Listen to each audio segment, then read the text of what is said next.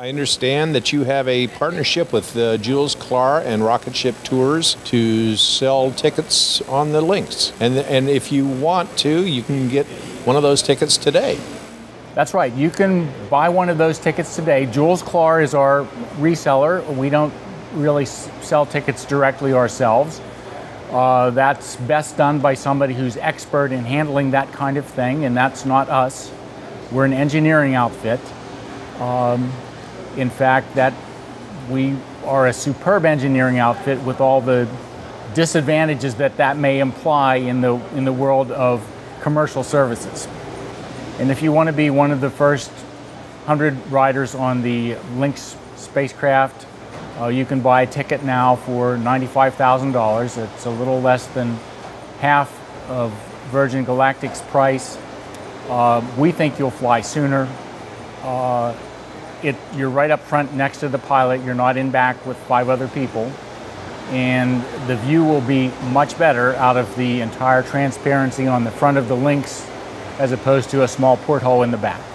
How many people are in line for, for rides now? Uh, well, there's a, uh, of sold ticket holders, there are 30 odd.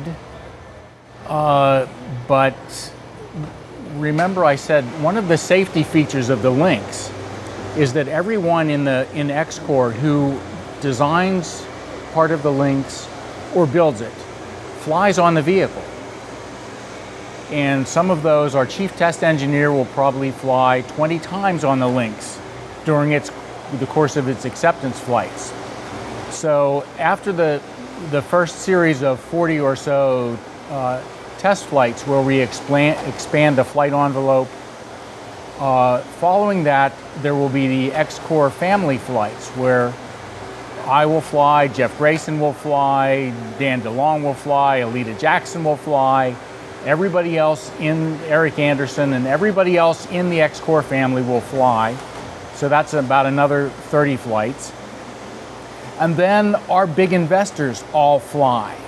So Esther Dyson will fly, Pete Ricketts will fly, Richard Garriott will fly.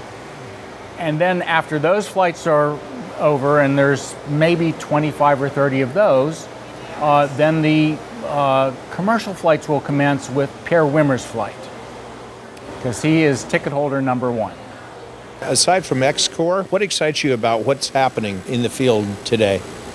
Well, uh, I, I, I, guess I'm biased. Uh, I think XCOR is the most exciting thing happening in space right now uh, because we're planning a real commercial service with a fully reusable spacecraft. That's something that has never been done before. And that opens up the that opens up a path, as we see it, to orbital flight with a fully reusable, operable vehicle that we can fly on a daily basis.